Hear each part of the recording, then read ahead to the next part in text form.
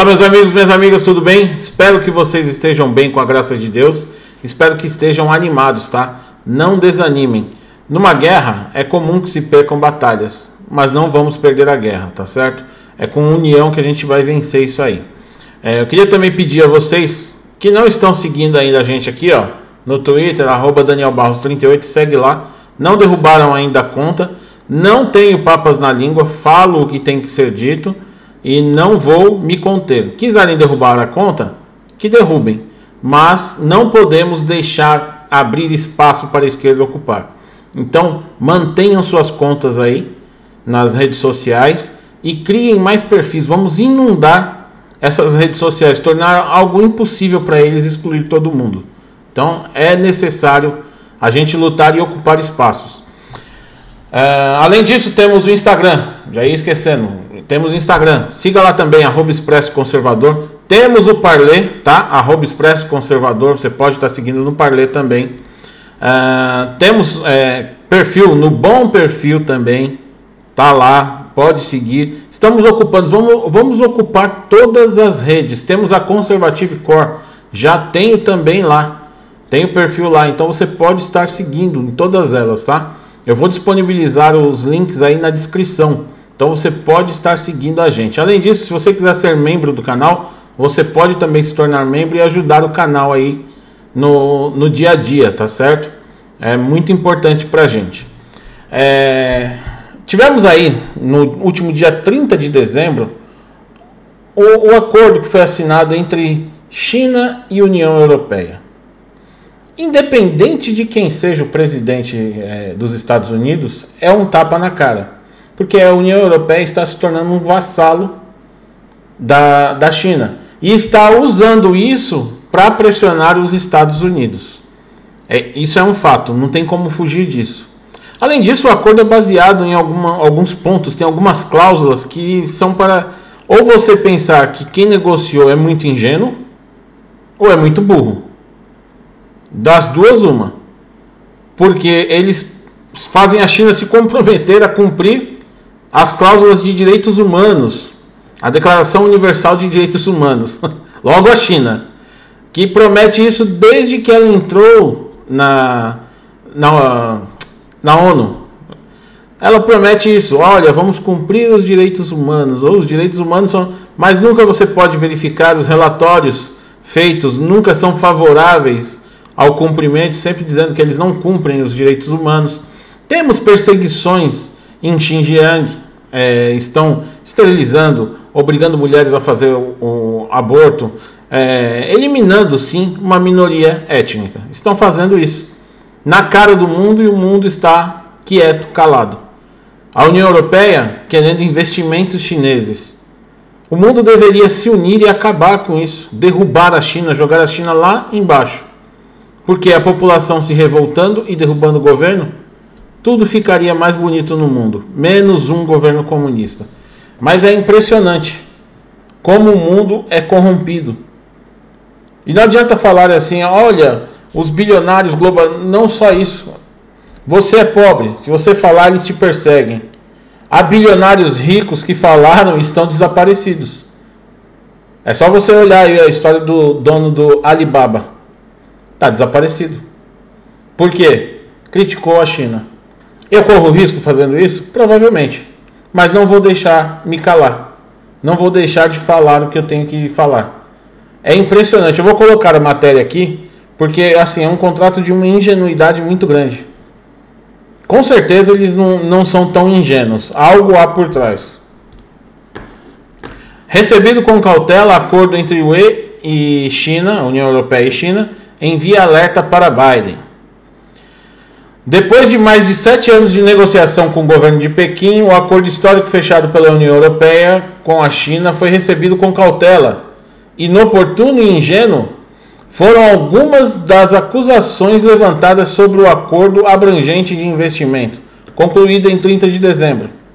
Agora, após uma semana de relativo silêncio, governos rebatem as críticas que consideram injustas entrevistas com autoridades de governos das principais capitais da Europa, mostraram uma convicção comum de que o acordo não só contém concessões reais de Pequim, mas que coloca a União Europeia em uma posição mais forte para retomar relações com Washington, após quatro anos de antagonismo alimentado pelo presidente Donald Trump. Em vez de repressão ao governo do presidente eleito Joe Biden, como acusaram críticos, o acordo representa o primeiro passo de volta a uma ordem multilateral após a campanha America First de Trump. Os Estados Unidos precisam da Europa como um ator global e não como um vassalo. Então é do interesse dos americanos que o bloco se apresente como uma força geopolítica por si só, disse outra autoridade em Roma. Reparem que, não sei se vocês têm a mesma desconfiança que eu, eles nunca revelam quem é a autoridade que falou isso. Isso, para mim, é criação da cabeça do jornalista. E eles colocam lá, disse uma autoridade, oculta a autoridade e tá tudo certo. Passa tudo limpo, tudo lindo. Olha, o jornalista falou, tá falado. A garantia sou eu.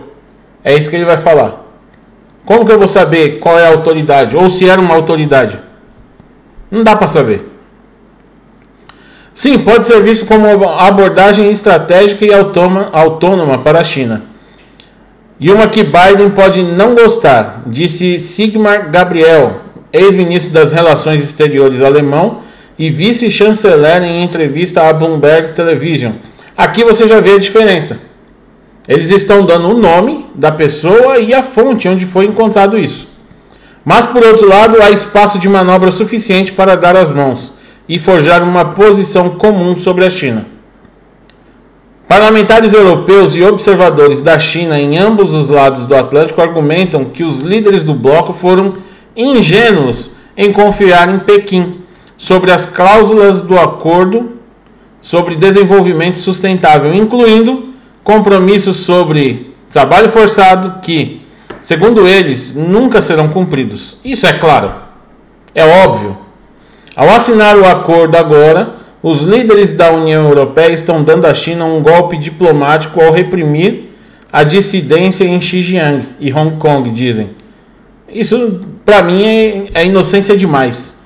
Autoridades da União Europeia dizem que acordo que compromete a China a fornecer maior acesso ao mercado, com aumento potencial no valor do comércio bilateral de 650 bilhões de dólares em 2019 foi o melhor que podia ser conseguido e significativamente maior do que qualquer outro já alcançado. O acordo de investimento não foi pensado para tratar questões de direitos humanos, tá vendo? Mas ainda dá à Europa vantagem em suas discussões com a China, segundo o gabinete do presidente francês Emmanuel Macron. A autoridade italiana disse que seria impensável que recentemente, é, até recentemente levar a China a aderir padrões internacionais sobre os direitos dos trabalhadores. Você acha mesmo que eles vão aderir, que eles vão cumprir? Olha, é, é de uma inocência que me fez lembrar uma outra coisa aqui. Eu vou pôr aqui na tela para vocês. Quem já ouviu falar do Acordo de Munique? O Acordo de Munique foi assinado, foi um tratado datado de 29 de setembro de 38 na cidade de Munique entre os líderes das maiores potências da Europa na época. O tratado foi a conclusão de uma conferência organizada por Adolf Hitler, o líder do, o líder do governo nazista da Alemanha. De 19 a 38, período da dissolução do Império Alemão, mais de 3 milhões de alemães étnicos viviam na parte tcheca do recém-criado Estado da Tchecoslováquia. O objetivo da conferência era a discussão do futuro da Tchecoslováquia e terminou com a capitulação das nações democráticas perante a Alemanha nazista de Adolf Hitler. Este episódio ilustra melhor do que outros o significado da política do apaziguamento. A Tchecoslováquia não foi convidada para a conferência. A conferência é vulgarmente conhecida na República Tcheca como a Sentença de Munique. A frase traição de Munique também é usada frequentemente uma vez que as alianças militares em vigor entre a Tchecoslováquia, Reino Unido e França foram ignoradas. Foi alcançado com cerca de uma hora e meia um acordo, assinado em 30 de setembro. Resumindo, eles fizeram um acordo, o, o Neville Chamberlain, que era o, da, o líder da principal potência na época, assinou um acordo com Hitler, achando que, olha, Hitler vai cumprir esse acordo. Um acordo de paz. Você pode ocupar a Tchecoslováquia, os Sudetos e a Tchecoslováquia toda, tá certo? E fica nisso, a, último, a última reivindicação territorial que você faz, nós estamos concedendo e assinamos um acordo de paz e tá tudo certo. Hitler falou, ok, vou assinar. Assinou o acordo, ocupou os Sudetos, ocupou a Tchecoslováquia, depois ocupou a Polônia, ocupou a França e foi aumentando cada vez mais o seu território até invadir a União Soviética. Dá para confiar num genocida? Não tem como confiar. E eles estão confiando que a China vai cumprir com o acordo. Não tem como. Olha só, Chamberlain foi recebido como um herói à sua chegada ao Reino Unido, no aeroporto de Heston. Ele fez o famoso discurso, agora inglório: Peace for our time. Paz para o nosso tempo e acenou com a folha de papel branca para a multidão em delírio, embora alguns no Reino Unido ainda tivessem questões diplomáticas mal resolvidas para esclarecer com a população. Resumindo, o acordo dele não valeu nada. Winston, Churchill disse sobre Chamberlain é, quanto a este acordo: entre a desonra e a guerra, escolhe, é, escolheste a desonra e terás a guerra. Ou seja, escolheu ficar ali, ai, tá bom, vai ter a guerra, vai brigar do mesmo jeito. Com esse tipo de, de líder, você tem que falar de igual para igual. Você não pode recuar, você não pode conceder, você não pode ter compaixão. A União Europeia está dando um tiro no pé. Muito em breve, a União Europeia vai estar nas mãos totalmente da China vai estar totalmente dominada. A China já domina Portugal, a China já domina a Grécia.